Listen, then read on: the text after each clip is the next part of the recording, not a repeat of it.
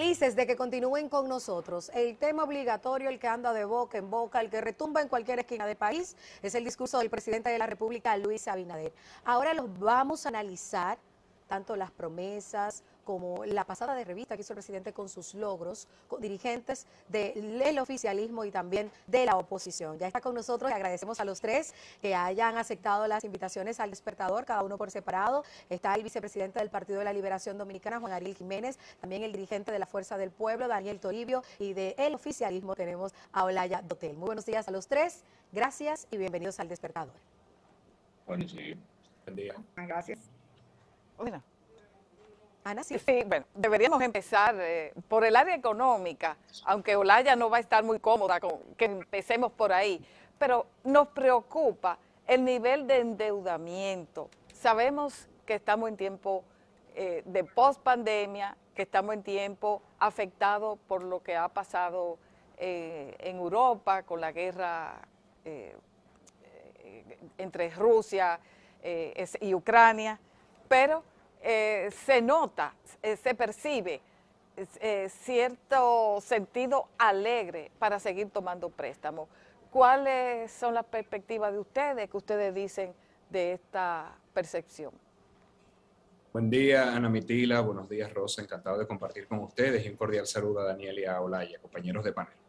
Bueno, yo empezaría, como dice Ana Mitila, em, evidenciando que hay un panorama internacional complejo, de que acabamos de salir de un proceso de pandemia, tenemos conflictos geopolíticos, que es cierto, ¿eh? Entonces se entendería si el gobierno dice, miren señores, no hemos podido lograr muchas cosas porque hemos tenido estas dificultades. Lo que choca es cuando hay un exceso de optimismo en, en un, digamos, despliegue mediático de que todo está bien, porque la verdad es que no, y sus propios números del gobierno lo dicen. Y quizás Ana Mitila, como tú misma decías, pues humildad. Se necesitaría tener humildad para admitir que la situación no está fácil para el dominicano promedio. Entonces vamos a hablar de endeudamiento. En estos dos años de gobierno, la deuda del gobierno ha subido 12.653 millones de dólares. Es decir, que a cada dominicano se le ha añadido 61 mil pesos de deuda.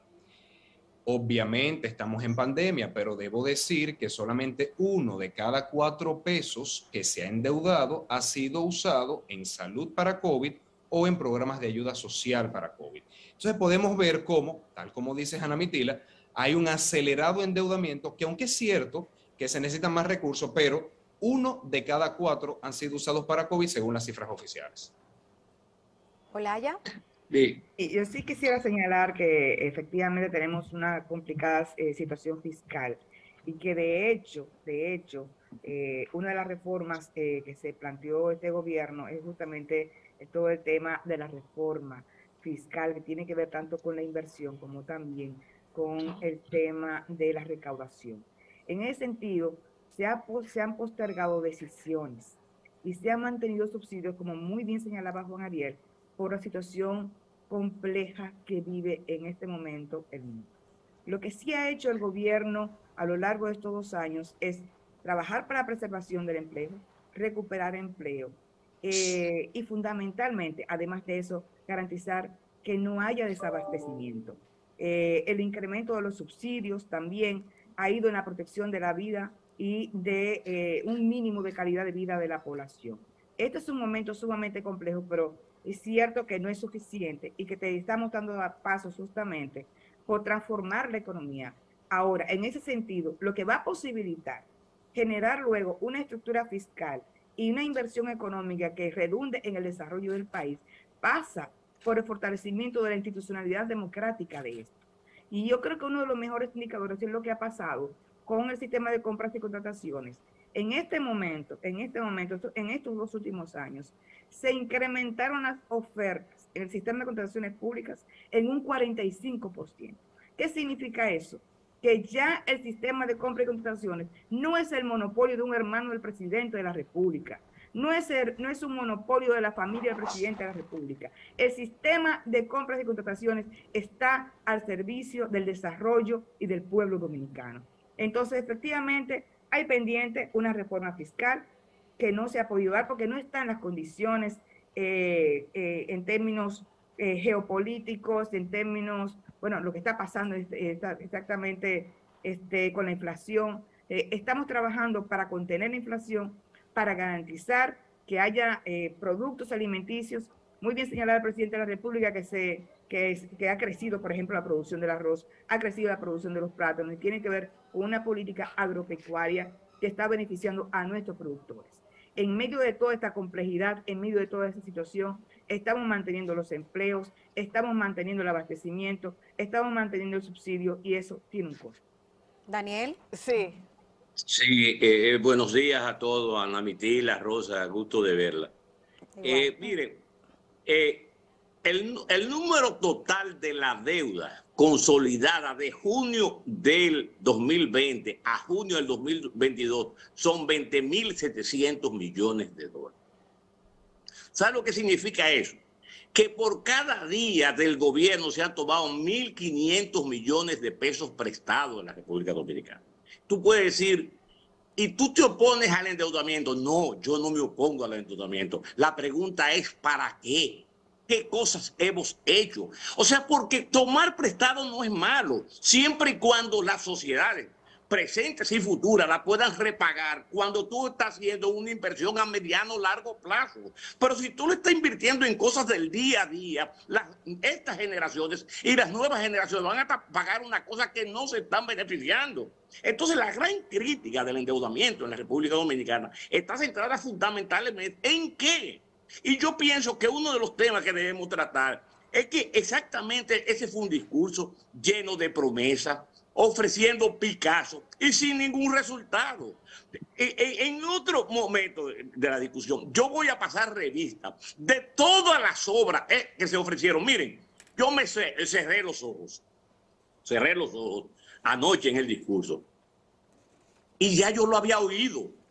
Ya yo lo oí en el 20, lo oí en el 21, lo oí en febrero de este año y lo oí ayer. Es el mismo discurso, con algunas ausencias Obviamente, no mencionó las, las presas que había ofrecido, ni ofreció un metro que iba a ser del aeropuerto a cosas, ni ofreció la entrada de Samaná, ni la entrada de la Romana. Hay muchas cosas que no ofreció. Pero de las cosas que había ofrecido, ¿qué puede presentar? Oye, le voy a poner un ejemplo, un ejemplo. Dos años de anuncio, de publicidad, de todo, para decirnos dos años después que el ámbar no va. Pero eso lo sabía todo el mundo todo el que tenía un cierto, sabía que no iba el ámbar por una razón sencilla. Nadie va a pagar 400 pesos para eh, cruzar, para ahorrarse 5 minutos o 10. Y el impacto ambiental. Los camioneros. ¿eh? El impacto ambiental. Hay que saber qué es lo que rompe esa cordillera. Sí, pero al margen de eso, racionalmente económico, ¿tú sabes lo que le dijeron los empresarios del transporte al gobierno? Señor, ustedes se están poniendo locos. ¿Cómo yo voy a pagar 400 pesos, 500 pesos por un peaje en una carretera cuando me acaban de inaugurar una carretera Navarrete Puerto Plata casi nueva? Daniel. O sea, la verdad, pero, pero no eso, ¿eh? vamos a seguir hablando obra por obra. Daniel. es más, eh, eh, perdón, y, y, concluyo esta mi primera parte. Monte Grande. No dice, oh, Monte Grande, ¿cuánto avance de Monte Grande? Usted prometió que le iba a inaugurar ahora en agosto. Y me está diciendo que está en un 80%, pero es su promesa, no es la mía. Si yo fuera el gobierno prometido, no lo prometo, pero él prometió que le iba a inaugurar en agosto. Sí, pero... Y así, mira, vamos a seguir hablando de obras. Sí, gracias. No, no, yo iba a apuntar. Una cosa, Daniel, y quisiera empezar con usted, luego que siga Juan Ariel y finalmente Olaya.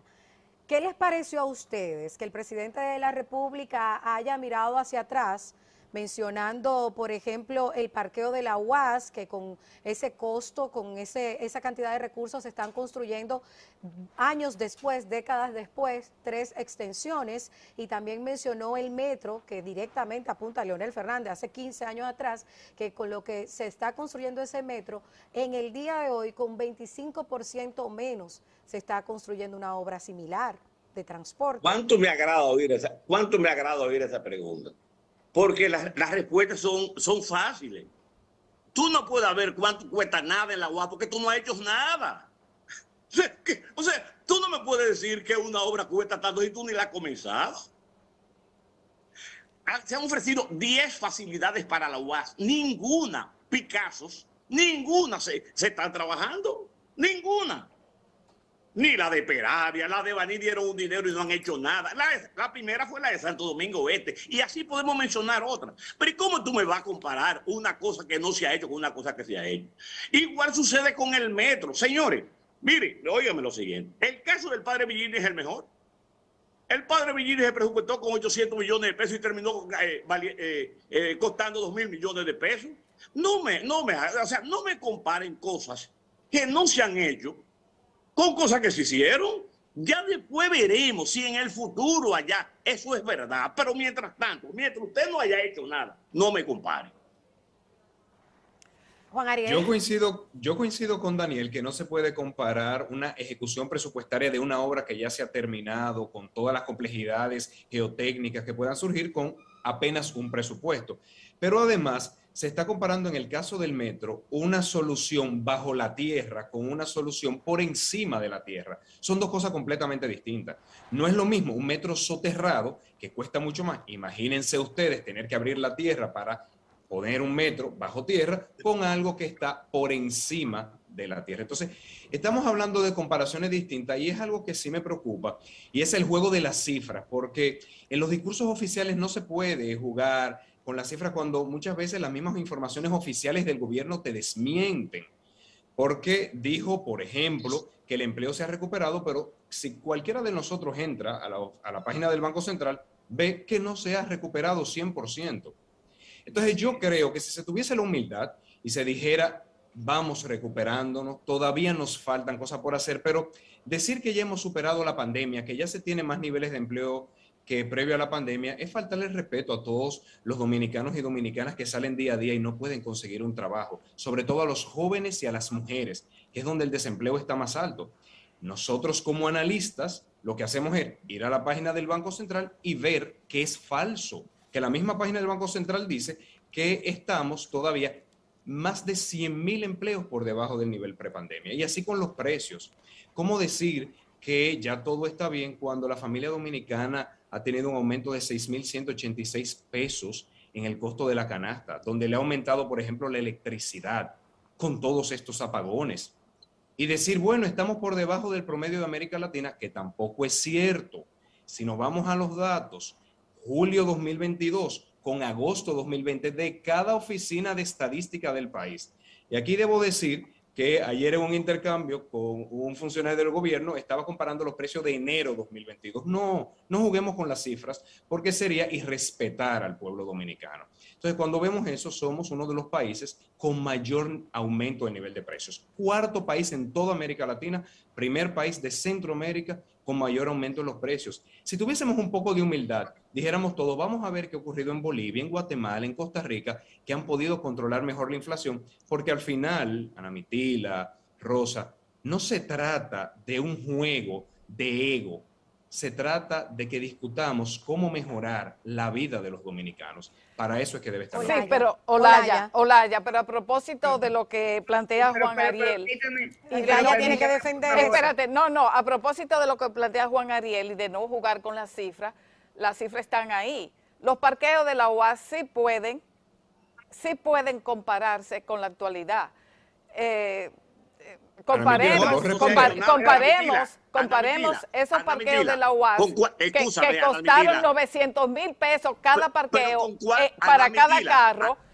Eh, comparémoslo con, lo que pasa en el 2022. Pero, con cuál realidad, Ana Mitila, si no se ha hecho nada. Tú no me puedes comparar con lo que no se ha hecho. Ana Mitila, te puedo Permítanme, o sea, permítanme, por favor. Daniel, Daniel, Ana Mitila. Yo no estoy defendiendo el valor del parqueo de la UAS porque yo no lo hice y tengo que ver. Lo único que tengo que decirte, tú no puedes comparar con lo que no se ha ya no ha hablado. Vamos a darle el chance a hablar. Sí, pero, no, pero que Pero yo no terminé. Yo no terminé tampoco. óigame, ¿con qué se está comparando? Se está comparando con los presupuestos de obras que van a ser emprendidas para las extensiones de la UAS. Y aún, a pesar del tiempo transcurrido, a pesar de la inflación y todo eso, eh, resulta incomparable. Entonces, sí vale la pena mirar para atrás y sí vale la pena. las obras cuando se ejecutan eh, sufren adendum no, y hay cambios. No, es que Ana Mitila está interviniendo en una cosa que yo quiero aclarársela. No es así, Ana Mitila. Tú no puedes comparar una obra ejecutada con una obra en presupuesto. Eso lo sabes tú mejor que yo. Es verdad. ¿Eh? Porque en la construcción pueden pasar tú mejor que yo.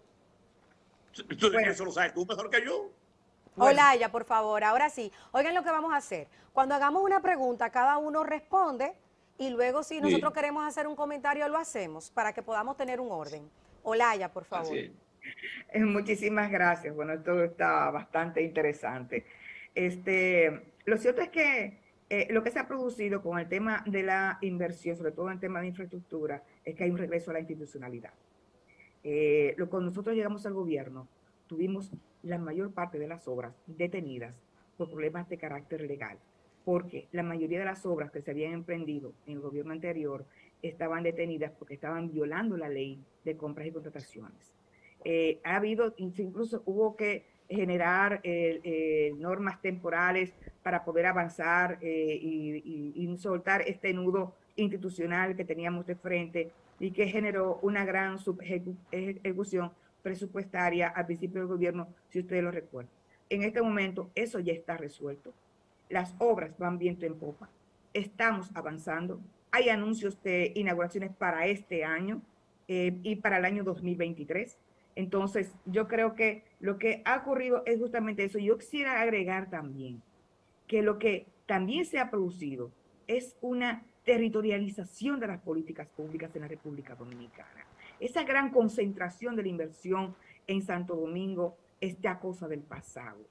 Hoy las obras se están ejecutando a lo largo y ancho de todo el territorio nacional y estamos cuidando los recursos del pueblo dominicano.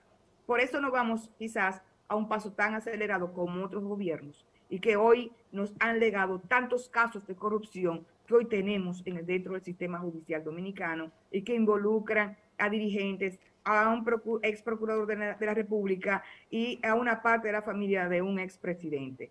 Yo creo que lo que estamos trabajando es para construir y pasar de políticas de gobierno a políticas de Estado. Estamos incluso contando, contando con eh, Juan Ariel Jiménez, que es parte de este relevo generacional eh, dentro del Partido de la Liberación Dominicana, con el señor Daniel Toribio, que ha hecho también un liderazgo importante dentro del PLD y ahora dentro de la Fuerza del Pueblo, eh, y todo el papel crítico que hace la opinión pública. Todas esas observaciones se valoran, porque si algo nos dice la democracia, es que una democracia sin oposición no lo es. Entonces, también es cierto que eh, ellos, ellos dirán, bueno, en tantos años construimos tantas obras, pero ¿a qué costo? ¿A qué costo para el pueblo dominicano? Sea, el desperdicio que hubo en estos últimos 16 años y que no nos legaron eh, eh, la solución y el problema de, los desechos sólidos, el problema de la basura, el problema de eh, la canalización de las aguas negras, el tema del agua. Hoy, hoy hay una intención, hay una intención concreta con un gabinete del agua que ha planificado la inversión del agua a lo largo de los próximos años donde están sentados todos los actores. No estamos inventando, estamos generando planificación que va a beneficiar a quien venga luego. No estamos pensando de manera inmediata, de manera electoralista. Estamos tomando tiempo e invirtiendo y cuidando, cuidando cada centavo del pueblo dominicano. Lo cierto es que si hoy hay, es lo que hay es institucionalidad democrática. Eso quiere decir que tenemos una institucionalidad al servicio del pueblo dominicano, que cuida los recursos del pueblo a través de un sistema de compra y contrataciones, una Cámara de Cuentas que trabaja de verdad. Y tenemos hoy instrumentos, señores, de arbitraje de, en materia de justicia y política reales que respondan a los intereses del pueblo dominicano. Yo creo que la discusión de los números es muy interesante, pero al final, al final, lo que tenemos que ver es si se preservaron los empleos, tenemos que ver lo que también nos falta en, materia de seguridad. El hecho, por ejemplo, de que estemos pasando de tres meses de formación en una persona para colocarla en uno de los papeles más importantes que tiene una sociedad, que es el resguardo de la vida, el resguardo de las propiedades, la generación de certidumbre en la vida cotidiana de los hombres y mujeres de este país, pasar de tres meses a un año, eso pasa por recursos, eso pasa por eh, eh, revisión de los contenidos de formación y son procesos de mediano plazo, donde los resultados en materia de seguridad los vamos a ver en el mediano plazo. Yo creo que es mucho lo que hay que hacer porque lamentablemente no se resolvió ninguno de los problemas importantes en 16 años de gobierno. Y si le sumamos los cuadros, diríamos 20. Sí. Bueno, le toca a Juan Ariel ahora, ¿verdad? Sí, ya Juan, respondió lo de... No, no, no, no, pedí permiso para responder, brevísimo. en, la discusión entre Ana Mitila y Daniel, pues algo muy sencillo. Técnicamente es cierto que no se puede comparar la ejecución presupuestaria de una obra realizada con el presupuesto de otra obra porque no se ha hecho nada. Ahora, sí coincido con Ana Mitila, porque a veces uno tiene que ver en el trasfondo que hay de que hay cuestionamiento de si era una obra, digamos, importante, si fue el costo correcto, si era una prioridad. O sea, yo creo que eso sí, Ana Mitila, de verdad, y creo que tenemos que tener la humildad de los gobiernos pasados ver que no todo se hizo bien y tenemos que reconocer cuando nos equivocamos como también tenemos que tener la humildad en este gobierno. Por ejemplo, Laia, y agradezco, por cierto, mucho tu valoración. Por ejemplo, yo creo que al gobierno le falta humildad en el tema de institucionalidad, porque un gobierno que ha gastado miles de millones de pesos en libros digitales asignándolos a un chofer, un gobierno que hay escándalos de corrupción con el tema de Pinta tu casa, que hay escándalos de corrupción de cientos de millones de pesos con las tarjetas de Supérate. Entonces yo creo que nos falta humildad para reconocer que como país tenemos que avanzar en la institucionalidad. Si caemos en el juego de que afuera son malos y nosotros somos buenos, entonces toda la semana sale un programa de televisión desmintiendo esa narrativa. Ahora, coincido contigo, Laya, si como sociedad dominicana, gobierno, oposición, nos sentamos en la mesa a discutir las reformas que hay que hacer, pues obviamente yo creo que cada uno de nosotros pudiera aportar. Daniel, brevemente, para pasar a la próxima pregunta. No, no, mira, sobre este tema, no insistir más en el sentido, yo no discuto los valores del partido, no lo sé, ni sé cuántos son, ni fueron muchos, pocos, y si hay que investigar lo que se investiga. Lo único que digo es que es una mala comparación, comparar obras ejecutadas, con proyectos sin realizar, no proyectos, porque no es que tengan... Mire, señores, óigame, de verdad, eh, eh, yo y el, vuelvo a resistir en el discurso. Miren, ¿cuántas veces nos han anunciado a nosotros? Le voy a decir, en, Pedernales, señores, Pedernales no se ha hecho nada. Óiganme lo que le estoy diciendo, nada. Nada es nada. Picasso un Picasso de un puerto, un Picasso de un aeropuerto, un Picasso. ¿Por qué? Olaya, no. Yo no estoy diciendo que el tiempo, no, que hagan todos los procesos, pero es que son, fueron ustedes, fue el gobierno que nos lo ofreció. Nosotros no le pedimos eso. A este altura del juego debían estarse haciendo 3.000 habitaciones en Pedernales. Oye, lo siguiente, una no se ha hecho.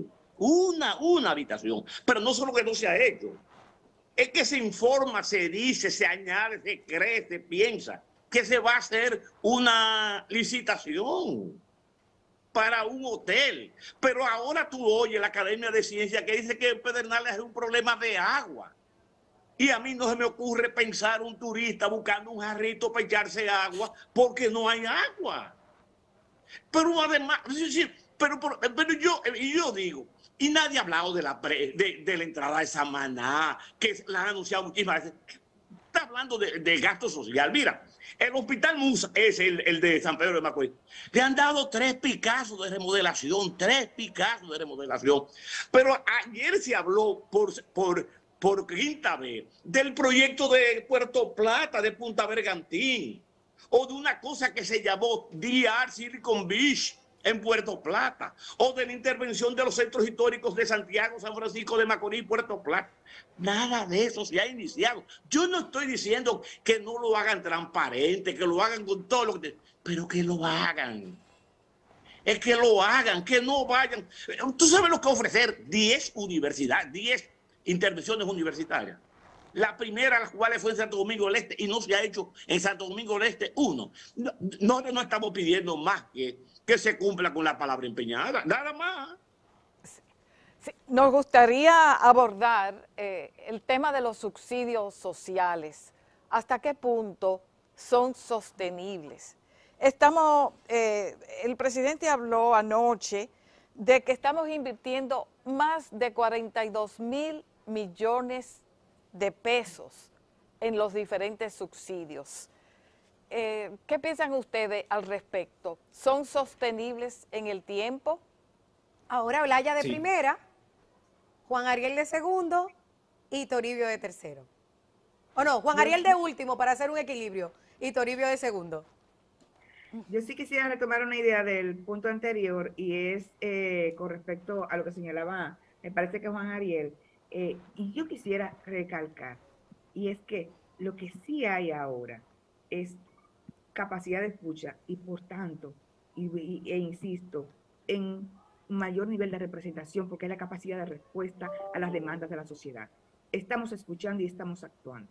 Como dicen por ahí, estamos atentos. No nos quedamos, ¿eh? no nos quedamos sin actuar ante denuncias importantes. Porque, ¿qué fue lo que sí pasó acá? Aquí se terminó la impunidad. La impunidad como instrumento, señores, de gobernanza para generar gobernabilidad. Eso terminó y eso se va a expresar y no importa qué tan cerca esté este presidente de la República. Si hay alguna violación a la norma, va a haber régimen de consecuencias. No importa qué tan cerca estés del poder político. Con respecto a los subsidios, estos por sí solos, está claro, no resuelven los problemas de la pobreza. Los problemas de la pobreza se resuelven a partir de una política económica integradora, generadora de mayor distribución de esta, y en ese sentido es que se está trabajando, sobre todo con dos leyes que van a ayudar a generar una mayor inversión y una mayor convergencia de las energías en el territorio. Una ya fue aprobada, que es la ley de regiones únicas, y esa ley va a permitir la convergencia en el territorio de las diferentes sectoriales, actuando, eh, eh, generando energía y complementariedad, como por ejemplo pasa el sector salud y educación, que requieren articularse ambos en el territorio porque son interdependientes en la construcción de este, respuestas en materia sanitaria y eso pasa por, por unos niveles, unos niveles de educación mucho más altos, asimismo que eh, de promoción de la salud. Entonces, eh, a eso habría que agregar, y eso estamos a la expectativa y sabemos que va a pasar pronto, que es la aprobación, señor el presidente de la República, de la ley de ordenamiento territorial y uso de suelos. Eh, lo que ha pasado históricamente en términos de eh, usufructo de, territorios, de suelos, por ejemplo, Paso de Moca, que eh, tierras con vocación agrícola eh, de alta fertilidad están siendo utilizadas para el desarrollo urbano. Y eso pasa a lo largo y ancho de todo el territorio nacional. Lo que tenemos en materia de uso de suelo es un verdadero desorden. Entonces, para que los subsidios puedan dejar de existir. Y lo que estamos hoy en Supérate se gradúe y por fin salgan de esos programas de asistencia, por, pasa por el desarrollo de una política económica integradora que sea capaz de tener mayor capacidad de distribución de la riqueza a lo largo y ancho del territorio. Y eso requiere una institucionalidad que haga converger todos los esfuerzos del Estado dominicano y potenciar los esfuerzos del sector privado a lo largo y ancho de todo el territorio nacional. La concentración de la riqueza en Santo Domingo no es gratuita. Tiene que ver con una concentración histórica en Santo Domingo, en Santiago, como que los, el resto de los territorios como que no existían. Hoy estamos colocando en el centro de nuestra atención, en el centro de nuestro gobierno, eh, la inversión en el territorio y por eso la importancia de estas leyes. Entendemos que estos pasos le va a hacer la vida más fácil a los gobiernos que vengan, a los partidos que vengan, porque la preservación de inversiones como esta, de acciones en términos de institucionales, es lo que va a permitir que cada peso que sea recaudado sea distribuido de manera equitativa en todo el territorio nacional. Daniel. Eh, sí, la verdad es que después de oír a Olaya, yo en esa parte no me voy a referir, porque yo estoy de acuerdo con todo lo que ella dijo. Entonces, entrar a, referirme a eso, no, yo estoy de acuerdo con todo eso y que se hagan esas cosas. Yo estoy perfectamente. Yo lo que quiero tratar tal vez es algún eh, elemento como que son como de preocupación. Por ejemplo, una de las grandes preocupaciones de la población dominicana es el tema de la seguridad. la seguridad. Tú me puedes decir, como decía Ana Metile, uno de eso requiere tiempo. Eso es verdad Pero cuando el gobierno llegó ya tenía a Giuliani como asesor. O sea, ya esto estaba resuelto, ya con Giuliani estaba resuelto. Pero no, es más, aquí se inventó una cosa que nadie ha vuelto a hablar más, de un fideicomiso de la policía. Nadie sabe ni cómo es, ni dónde se come, ni cómo funciona un fideicomiso de la policía. Y hoy en día la preocupación de la población grande es por los niveles de inseguridad. Entonces estamos creando, yo pienso que Juan Ariel lo, plantea, eh, eh, lo planteó claramente, estamos creando una expectativa y una visión, como ha dicho el presidente Fernández, eh, boterista del asunto. O sea, botero, las gordas, el caballo gordo, o sea, todo es gordo, aquí, aquí no hay nada chiquito. En este país somos los primeros, si no somos los primeros, estamos ahí. O sea, esto no puede ser. O sea, yo pienso que uno de los grandes errores del gobierno es haber exagerado todo, que le vendían la imagen de que somos los más grandes del mundo. Y no es verdad, hay muchísimos problemas en la República Dominicana. Tú estabas hablando de descentralización, pero las obras de la provincia no se están haciendo. Óyeme, en Elías Piña ofrecieron 1.100 millones de pesos y no han gastado un solo centavo. En Elías Piña. Lo de Manzanillo, que ahora fue Miki, Miki, yo creo que estaba Joel, un puerto que se anunció en diciembre del 2000, va para el 2023. Te estoy hablando, la presa de Monción no se ha vuelto a hablar. La presa del Bajo Yuna, nadie sabe si se va a hacer. O sea, yo lo que estoy diciendo, la circunvalación de San Francisco de Macorís es trocha. La circunvalación de Navarrete no, ni trocha es. Entonces, cuando tú me hablas que se están haciendo, que se está descentralizando, bueno, será en la cabeza pero en la práctica descentralización ninguna. Juan Ariel. Bien, yo, yo continúo brevemente con lo dicho por el señor Daniel y retomo la pregunta de Ana Mitila. Ciertamente yo creo que hay una crisis de expectativa porque fue el actual presidente que en campaña dijo que el plan Giuliani iba a reducir la delincuencia en un 50% en los primeros dos años. Que Giuliani prometió que era en el primer año y él dijo, dame dos. Y la verdad es que la delincuencia ha aumentado 22% según cifras oficiales del gobierno. Pero también choca que el presidente ayer dijo que se redujo, porque la cifra oficial del gobierno, que yo la pudiese publicar, dice que aumentó. Entonces ahí sí que me preocupa que en un discurso oficial se usen cosas que no son verdad. También coincido con Daniel cuando dice que una cosa es la planificación que se tiene en los papeles y otra cosa es la realidad. ¿Por qué? Porque tenemos el más bajo nivel de ejecución de obras como porcentaje del PIB de la historia de la República Dominicana. Para darles un dato, a noviembre del año pasado solamente se habían gastado 6 de cada 10 pesos presupuestados en obras. ¿Ustedes saben cómo se ejecutó el, gasto de capital por transferencia? No presupuestada. Por cierto, Laya, eso no es institucionalidad. Vuelvo a retomarlo de humildad. Al día 5 de agosto solamente se han gastado 4 de cada 10 pesos que se presupuestaron en obras. Este gobierno no está construyendo. Y me pudieran decir, bueno, es que los programas sociales, sí, yo estoy comparando con el presupuesto. Entonces, ¿Qué es lo que choca? El alto endeudamiento con la baja inversión. Anteriormente, nueve de cada diez pesos que tomaba el gobierno de endeudamiento se usaban en obras del gobierno central. Hoy en día solamente tres de cada diez pesos de la deuda se utiliza en inversión de infraestructura. Y ahí retomo entonces la pregunta de Ana Mitila. ¿Son sostenibles los subsidios? El presidente ayer dijo que se han usado más de 40 mil millones de pesos en subsidio pero eso no es ni mil millones de dólares y la deuda ha aumentado 12.653, la del gobierno, y como bien dice Daniel, la del sector público consolidado, que incluye el Banco Central, 20 mil millones de dólares. Entonces, dinero hay de sobra por el alto endeudamiento del gobierno. Ahora, en términos puramente técnicos, ¿debe un gobierno mantener para siempre los subsidios? Y esa es una excelente pregunta que tenemos que repensar. Sin lugar a dudas, ante las dificultades que hay, los gobiernos tienen que proteger a su población, sobre todo a los de más necesidad. Entonces yo creo que cualquier esfuerzo que se haga en ese sentido es importante. Pero lo que creo es que el esfuerzo no ha sido suficiente, porque vuelvo y repito, la canasta básica ha aumentado 6.186 pesos, según informaciones del Banco Central. Pero, ¿qué ha pasado con los subsidios? Anteriormente eran entre 5.000 y 7.000, hoy en día la famosa doble es apenas 1.800 pesos. Se reducen los subsidios, aumenta la canasta básica y ¿qué ocurre? Como bien dice el Ministerio de Economía en su informe de pobreza del 2021. Aumenta la pobreza, De hecho, en República Dominicana 72 mil personas pasaron a la pobreza, distinto a lo que pasó en América Latina, que 3 millones de personas, según la CEPAL, salieron de la pobreza.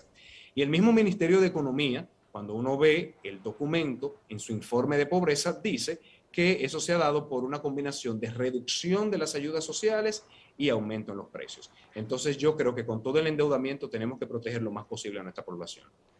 Juan Ariel, luego Olaya y posteriormente Toribio.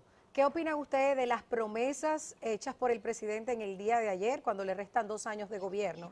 Y también uno de los logros que volvió a mencionar fue la justicia independiente. Juan Ariel. Bueno, la, la justicia independiente yo creo que como magistrada procuradora está una persona muy respetada por la sociedad, con mucha credibilidad, y eso es de celebrar. Entonces yo, yo ahí sí que le doy un aplauso. Eso no implica que sea independiente la justicia. Primero porque justicia no es el Ministerio Público. Justicia es el Poder Judicial. Y segundo porque independencia se da cuando hay, primero, una selección por parte de un órgano plural. Ahora mismo es designado por el presidente. Cuando se lleve la elección de la Procuraduría al Consejo Nacional de la Magistratura, entonces habrá una justicia independiente. Cuando los recursos de la Procuraduría no dependan del presupuesto público, en el sentido de que tengan recursos especializados, como tiene, por ejemplo, la Superintendencia de Bancos. Entonces ahí podemos hablar de un Ministerio Público independiente. Ahora lo que tenemos es un Ministerio Público a la cabeza, una persona con alta credibilidad y alto respeto social, y eso es positivo. En cuanto a las obras, es que yo me voy como dice Daniel, el presidente se la pasa prometiendo. Si nosotros vemos la campaña, si vemos el discurso del 16 de agosto de 2020, del 16 de agosto de 2021, lo que hay es muchas promesas y pocas ejecuciones. Le voy a dar un dato, Santiago. El presidente para Obras de Santiago hizo el año pasado más de ocho promesas, ni la mitad ha iniciado. Entonces, cuando yo veo que el presidente ahora anuncia un sinnúmero de obras, pero no ha cumplido siquiera con las prometidas anteriormente, yo lo que digo es, mire, ojalá se pueda cumplir con lo ya prometido. Venir a prometer cosas distintas para luego no cumplirlas, la verdad es que suena a discurso político. Y quiero concluir diciendo, se habla mucho de las buenas intenciones, pero sería importante llevar a las, buenas, las buenas intenciones a las acciones, porque son las acciones lo que cambian la vida de las personas. Si no, las buenas intenciones no son más que promesas de campaña. Daniel. Yo, en mi caso. Eh. Sí. No, la verdad es que eh, promesas, claro, yo no ahora no, soy de lo que creo siempre, que hace un año el presidente debió dejar, dejar de prometer. Un año. Y centrarse fundamentalmente en aquellas ejecutorias que pudiera terminar y presentar inclusive como símbolo a la sociedad de lo que había hecho. O sea, señores, son Picassos o sea, ustedes cogen provincia por provincia. En Ocoa hubo una protesta ahora por una carretera de Rancho Arriba, eh, Juan Adrián, que, que, Rancho Arriba, perdón, Ocoa, que no se han hecho y por otras cosas que han ofertado. Y yo me pregunto, no ofrezcamos tanto, ejecutemos. No nos digan todos los días que van a inaugurar tal día. Miren, la autopista de la, la circunvalación de Vanillas, o sea, ofrecido muchísimas veces, de las 10 de la UAS, y comiencen una, desarrollen una, una, una, uno, dos, y después digan, no tenemos recursos para las 10, pero esta la terminamos, y mañana comenzamos la otra. Pero en ninguna de las 10. ¿Y la justicia independiente? Entonces, hay una serie de, eh, hay una serie de obras y de planteamientos que no podemos nosotros de ninguna mente plantear como proyecto futuro porque no existen. Y yo te digo, el fracaso de la autopista del Ámbar es una cosa dramática. Dramática. Dos años hasta con anuncios. Hasta con anuncios, el Ámbar. Eso va. No, y sin hablar de Punta Bergantín, de Puerto Plata, de Dieres, Silicon Valley, o sea, sin hablar de nada de la eso. La justicia independiente como logro. Sobre el tema de la justicia. Mira, yo voy a decir lo siguiente. En la, esa justicia, esa es una justicia de gente honorable, la mayoría de ellos, o, casi todos son honorables, pero esa justicia viene de los gobiernos anteriores. Doña Miriam fue miembro de la Suprema, elegido por el Consejo Nacional de la Magistratura. Eh, Camacho y, y, Jenny eran, eran procuradores fiscales y una fue procuradora de Santiago. O sea, Claro. Ahora bien, desde mi punto de vista, lo central para la Procuraduría es una autonomía presupuestaria. ¿Por qué? Porque la autonomía presupuestaria evita presiones por parte del Poder Ejecutivo respecto a tal o cual cosa. Ahora, mientras no haya autonomía presupuestaria, mientras la procuradora o los procuradores tengan que irle pedir de favor al presidente, al director de presupuesto para que le asigne una partida, el nivel de independencia no va a estar tan claro ni específico. De todas formas, aquí hay que reconocer esa justicia tiene una gran imagen, pero cuando hablamos de la justicia, nosotros hablamos de la Procuraduría. la Suprema Corte de Justicia que hoy día existe fue elegida en el otro gobierno, no fue en este. La mayoría de los cuales, si tú vas a incluir a la justicia también a la Suprema, estamos hablando que no hay grandes cambios, que hay buena gente y que hay gente que están haciendo su trabajo. Y para la mayoría de la población creemos que lo están haciendo bien. Pero decir que eso es un lo... No, o sea, para nada. ¿Olaya? Sí. Sí, sí. Eh, antes, sí, sé que queda poco tiempo, pero recordar que cuando llegamos al gobierno, encontramos una policía indigente, indigente, sin instrumentos, sin cuarteles policiales, tomando denuncias en cuadernitos y en hojitas sueltas, sin conectividad, aquí en materia de seguridad ciudadana hay que hacer absolutamente todo y, y, restablecer la dignidad de los policías. Y en eso se está trabajando, por eso hubo aumento salarial y se está trabajando en la formación y en la inversión en instrumentos para la seguridad. Y esto, como había dicho el presidente de la República, no es una situación que podamos resolver en un corto plazo, pero se está haciendo todos los esfuerzos. Con respecto al tema de una justicia independiente, yo creo que este es un reto no solo para este gobierno y para el Partido Revolucionario Moderno, es un reto también para todos los partidos políticos. Esto tiene que dejar de ser una política de un solo hombre, de un presidente y de un gobierno, para ser una política de Estado, para que lo que se obtuvo ahora se mantenga a lo largo del tiempo y no haga falta de que la sociedad se movilice y vaya a las calles nuevamente para reclamar una justicia independiente que hoy se ha conseguido. Sí, bueno, eh, siguiendo esa línea de pensamiento, me gustaría compartir cuáles son sus pareceres sobre el concepto de institucionalidad. Aquí no solamente se habla de la institucionalidad eh, y de la no impunidad, una promesa de campaña.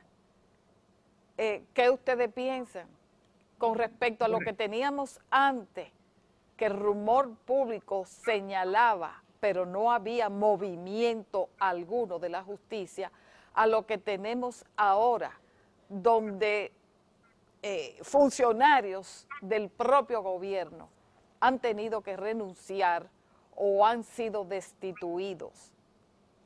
Eh, ¿Cómo, viéndolo como dice Olaya en el tiempo, cómo convertir esto en una política de Estado permanente, no solamente del gobierno de Luis Abinader? Inicia. ¿Quién inicia? Eh, vamos a poner a Daniel de primero, que creo que nunca lo pusimos de primero. Luego Laya y Juan Ariel de último.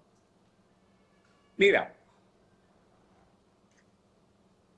tal vez un poco repetir lo que había dicho antes. La institucionalidad en el caso, estamos hablando no de la justicia en general, en y, el y en economía también, institucionalidad en la economía.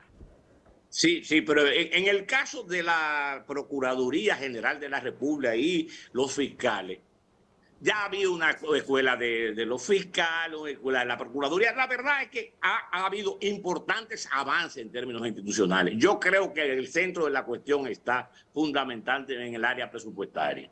Hay que darle una autonomía presupuestaria a la Procuraduría que impida que cualquier gente, funcionario o persona pueda utilizar el mecanismo del presupuesto como elemento de presión.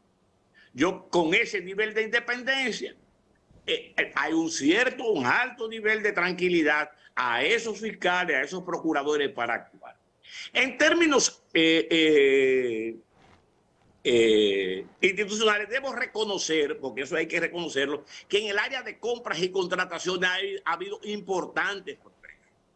En el área de compra y contratación. Ahora, eso no se ha convertido muchas veces en actuaciones. El caso más ejemplar en este momento es el caso de Pinta, ¿cómo se llama? Pinta tu casa Pinta Navidad.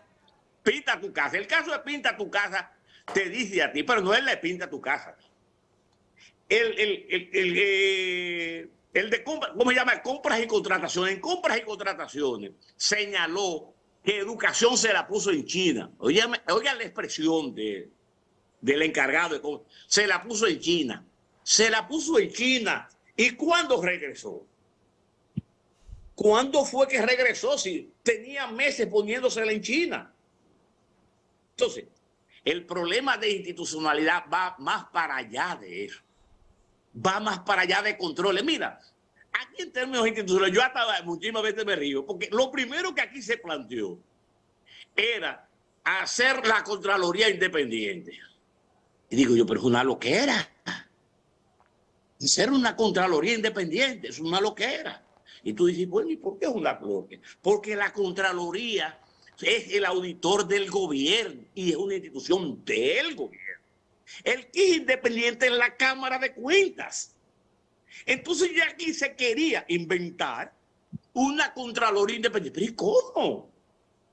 La Contraloría es la institución de, por parte del gobierno de verificar que los procedimientos, normas se cumplan.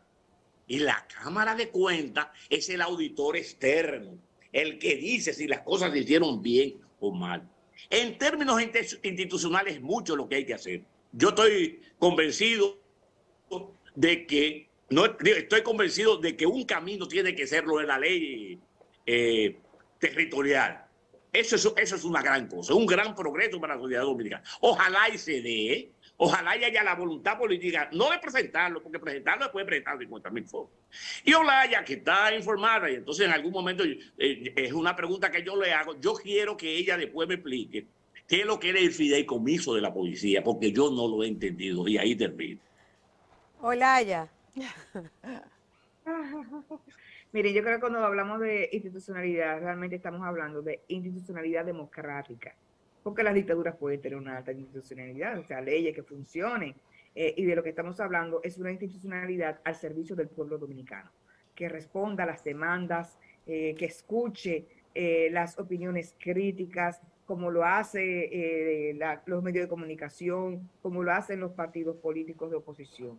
en ese sentido, yo creo que lo que puede garantizar, además de una autonomía presupuestaria, como dice el señor Daniel Toribio, para la Procuraduría General de la República, también eh, tendríamos que modificar la Constitución para que en la designación del procurador o procuradora ya no esté en manos del presidente de la República. Fíjense que la voluntad del presidente es despojarse de poder, es compartir poder, cosa no común, no común en nuestros presidentes y es algo que en la política dominicana eh, no se entiende mucho por la realidad, que si estamos en una sociedad democrática, el poder se comparte. Y se comparte con los partidos de oposición, se comparte con el resto de la ciudadanía. Entonces, para que esto perdure en el tiempo, requiere de una modificación a la, a la Constitución exclusivamente, exclusivamente para darle eh, otro, otra metodología de designación al Procurador Procuradora General de la República, que se hagan arreglos institucionales para que, como señala Daniel Toribio, haya autonomía presupuestaria por parte de la Procuraduría, que eso hay que garantizarlo, además de un salario eh, adecuado. Eh, con respecto a la Policía Nacional, quiero insistir en que nos encontramos en una, política, una policía indigente, indigente, hambreada, y que eh, si bien es cierto que tenemos una inflación, eh, por, eso la, persistencia de los subsidios. La idea es que los subsidios sean temporales, no sean eternos, que sean parte de una política mucho, mucho más amplia de generación de empleo y que implica también el desarrollo económico desde una perspectiva territorial. Juan Ariel. Respondo brevemente algunos puntos de Olaya y voy con la pregunta de la institucionalidad. Hay que tener cuidado con eso de despojarse del poder para entregarlo al sector privado, porque coincido con Daniel, un fideicomiso para la policía en manos del sector privado, cuando la seguridad pública ha estado en manos del sector privado. por solamente darle un ejemplo, 14 fideicomisos sin una ley de fideicomiso público. Entonces, ese concepto de despejarse del poder, pero entregarlo al sector privado a través de fideicomisar y privatizar, con eso hay que tener cuidado porque el presidente es un funcionario electo y no puede entregar el manejo del Estado al sector privado como se ha venido haciendo. y el segundo elemento, no, Olaya, pero, quisiera respetar mi turno. Pero, pero, pero, pero no, pero si me dejas terminar, si me dejas Usted puede terminar, responder en un minuto, Olaya. Vamos a dejarlo que concluya. Entonces, lo segundo, Laya, coincido que había que mejorar la policía, pero esa policía indigente que tú mencionas tenía una tasa de homicidios por cada 100.000 habitantes de 9.2 en 2020, de 9.9 en el 2019. ¿Sabes cuánto está ahora en el 2022? 11.2, un aumento de 22%. Entonces, en el discurso se ve muy bonito, encontramos indigente, ahora es lo mejor, pero en las cifras lo que se ve es un aumento de la delincuencia aumentó un 18% la delincuencia en el 2021 y 2022 va por un aumento de 22%. Con respecto a la institucionalidad, que fue la pregunta, yo creo que viendo hacia el pasado, obviamente que tenemos que ser autocríticos y admitir que debimos avanzar mucho más en institucionalidad, que creo que fue de los elementos en donde no estuvimos a la altura de, las expectativas de los ciudadanos. ¿eh? Y ahí hay que hacer todo el autocrítico. Ahora, yo creo también que tampoco puede, también hay que ser autocrítico con este gobierno, que ahora se destituyen los funcionarios. Voy a dar solamente tres ejemplos y aprovecho para felicitar a la prensa por la labor que hace. Denuncias de corrupción en Pinta tu Casa, ningún funcionario destituido. Denuncias de corrupción en el programa Supérate, tres colmaderos señalados. Denuncias de corrupción en educación, cambiarlo al ministro de Educación a ministro sin cartera.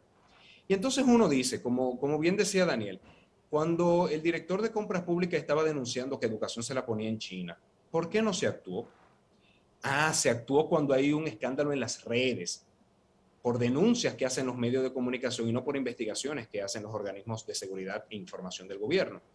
Entonces, cuidado si lo que tenemos miedo es al escándalo público y no un compromiso real con la institucionalidad, admitiendo que es una tarea pendiente de todos, donde quizás los partidos del pasado, PLD, ahora Fuerza del Pueblo, tenemos que poner una gran parte de la cuota de los avances que nos toca, que nos toca por hacer. Pero tampoco digamos que todo está bien en este gobierno porque, por ejemplo, 21 funcionarios destituidos, uno solo investigado y procesado, que fue el de la lotería. Y el resto, entonces yo creo que hay quizás un poquito más de humildad y admitir que es una tarea pendiente. Yo creo que avanzamos mucho más como sociedad si admitimos eso, aunque no sea, digamos, algo que llene el ego de los funcionarios de este gobierno. Réplica de Olaya, 30 segundos. Nos vamos con la última pregunta de inmediato, tan pronto termine Olaya. Dos cosas, dos cositas nada más. Lo primero es que efectivamente el tema del monopolio de, eh, no la fuerza, vamos a decir, eh, la Policía Nacional eh, el, el, papel de la Policía Nacional es un papel público al servicio del Estado que en ningún momento, en ningún momento ha estado en juego que es un, es un servicio que debe controlar exclusivamente el Estado Dominicano. Eso no está en discusión en lo absoluto y nunca lo ha estado. Y, por, y quisiera recordarle a nuestro amigo Juan, Juan Ariel Jiménez es del problema gravísimo de subregistro en los cuerpos de seguridad e incluyendo la propia Procuraduría General de la República, lo que está siendo trabajado por nuestra Oficina Nacional de Estadística, que no solamente cuenta personas, sino también que trabaja con todo el tema de la administración y que se reconoce que se requiere una mayor inversión también para que la cifra con la que cuenta el Estado Dominicano con respecto a temas, por ejemplo, tan importantes como el tema de la cantidad de delitos, sean, los que sean, eh, sean los reales. Y eso es lo que va a permitir que tomemos las medidas del lugar. Lo que hubo, lo que hubo fue un gran subregistro y eso está más que demostrado. Bueno, Empezamos con Juan Ariel, sigue Olaya y de último Toribio. ¿Qué objetivo, según la percepción de ustedes, tuvo el presidente con ir a Santiago a este discurso atípico, un 16 de agosto, y qué le faltó por tratar en ese discurso? ¿Con qué se hizo el loco el presidente en su discurso? Juan Ariel, Olaya. Una contrarréplica, una contrarréplica de 10 segundos y continúo con la pregunta. Olaya, cada vez que los números no fortalecen al PRM lo que hace es desacreditarlo. Por eso en oposición decían que los números del Banco Central eran falsos, ratifican al gobernador y hoy celebran los números. Decían que los números de Hacienda eran falsos y hoy tienen los mismos números. Decían que los números de pobreza eran falsos y hoy repiten los mismos números. Entonces, pues obviamente es una táctica de cuando las estadísticas no me dan la razón, o las desacredito, que es lo que se hizo en el pasado, o simplemente las tergiverso, que fue lo que pasó ayer con el discurso del presidente, donde vemos estadísticas y afirmaciones que no se corresponden con lo que publican los mismos datos, por ejemplo, del Banco Central. ¿Qué objetivo? Pues debemos decir que es por primera vez que un presidente da un discurso de rendición de cuentas un 16 de agosto, porque hablando de institucionalidad, la rendición de cuentas está estipulada es los 27 de febrero en la Constitución, pero ya vemos un presidente que los 16 de agosto le gusta hablar, porque al presidente le gusta dirigirse mucho a la ciudadanía. Algunas personas lo ven eh, positivo, otras lo ven negativo. Eso no lo voy a comentar. Debo celebrar que en esta ocasión fue solo el presidente, porque el año pasado vimos un derroche de recursos de cada entidad pública haciendo su propia rendición de cuentas del primer año. Y entonces ahí vuelvo con un comentario que hacían Ana Mitira y Rosa antes de iniciar este debate, de ese es el mejor recurso que se tiene del gobierno. Y para colmo, algunos funcionarios luego dicen que lo paga el sector privado. Vimos, por ejemplo, el Ministerio de Turismo que sacó esta semana unas portadas de periódico y decía, pagado por el sector privado. Cuidado, cuidado con este juego tan cercano entre el sector privado y el público, porque el sector público no puede entregar su responsabilidad. Entonces, ya respondiendo la pregunta, obviamente es un, un acto político, es un acto que se encamina a la repostulación del presidente en el 2024. Ya modificaron sus estatutos partidarios em, en contra de una lucha histórica de su líder José Francisco Peña Gómez. Bueno, pero ya las circunstancias obviamente lo llevan a cambiarlo, hablando del tema de institucionalidad y de hacer las cosas cuando convienen, ¿no? Y obviamente ya tenemos todo un aparato gubernamental que está enfocado exclusivamente en la repostulación del 2024. Lo vimos en el acto del Palacio de los Deportes, un despliegue de recursos también para la famosa frase no miren hacia atrás. Sin embargo, el presidente se la pasa mirando hacia atrás para echar la culpa. Lo vimos ahora este 16 de agosto, el día de ayer, y vamos a ver una serie de intervenciones que la única finalidad es em, promover la repostulación del presidente en el 2024. Hola, ya. Yo creo que esto es parte de una política que no, comienza, eh, no comenzó ayer, sino que se ha dado a lo largo y ancho de todos los años, que es mover el gobierno a lo largo y ancho de todo el territorio nacional. Es una expresión de cercanía en términos territoriales este, y, ¿por qué no?, en la ciudad, la segunda ciudad más importante de la República Dominicana, como lo valora no solamente el presidente de la República, sino también los datos estadísticos y lo que aporta Santiago y aportó Santiago en términos históricos. También es una expresión simbólica. Estamos hablando de la restauración eh, y el papel que jugó eh, Santiago y todo el Cibao en el rescate de nuestra independencia. Nos olvidamos, nos olvidamos de ese evento tan importante que es una construcción permanente en nuestra independencia económica, nuestra independencia política, nuestra posibilidad de ejercer plenamente nuestros derechos. Eh, eh, en fin, eh, es una expresión de que el gobierno no comienza y termina en Santo Domingo, sino que se extiende a lo largo y ancho de todo el territorio de esta media isla. Daniel, finalmente. Sí, mira, lo primero que, sin discusión, un acto político. O sea, un acto político que, cuya finalidad tiene, debe tratar eh, no de recuperar, de evitar las caídas que se están viendo en los números eh, de las encuestas. Y claramente hay que desarrollar una narrativa. ¿Cuál es el problema? Que muchas de esas narrativas chocan con la realidad de la gente.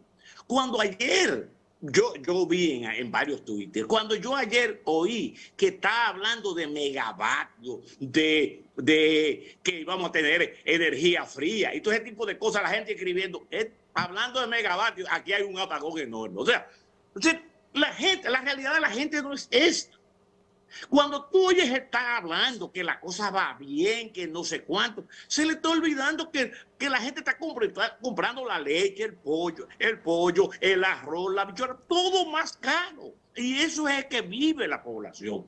Entonces tiene que desarrollar una, una narrativa y una narrativa que es lo doloroso para la sociedad dominicana, de cosas que ya tú venías planteando. Señores, es un, es un déjà vu es el mismo discurso. Si a mí me hubiese tocado hacer el discurso, yo no lo hago el discurso, yo pongo el mismo que había hecho antes y le quito algunas. Porque la verdad, señores, que ese discurso nada más tuvo un propósito de carácter político. Es a ver si le pone eh, eh, una, una, no es una curita, porque ya no es una curita, si le pone una gran banda al, de, a, al, al, desangrado que se, le está produciendo en un gobierno que a dos años no tiene realidades. Yo quiero finalmente señalar lo siguiente. Miren, ¿ustedes qué es lo peor? que tenemos que irnos. Sí, sí, tú sabes qué es lo peor, lo gran peor, que estos fueron los primeros dos años del gobierno.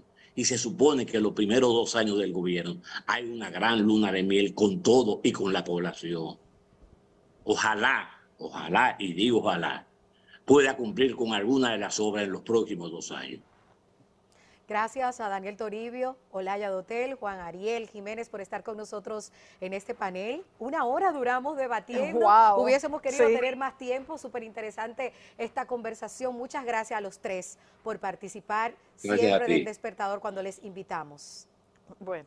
Gracias por invitarnos. Todo nuestro respeto para ustedes. Gracias. Olaya, Juan Ariel, Namitir y Rosa, adiós. Bueno, bye bye. Bye bye, gracias. Momento de una pausa, al regreso más del despertador. Director, me voy a quedar